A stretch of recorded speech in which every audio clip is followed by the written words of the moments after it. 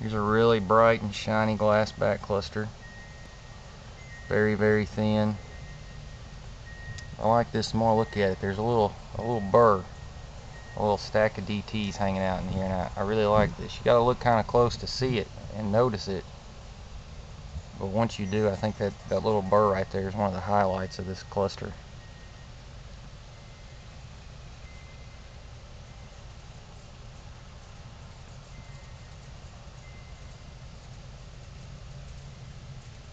You see it's very shiny.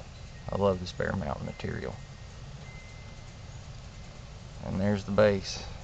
Nice and thin and fully terminated.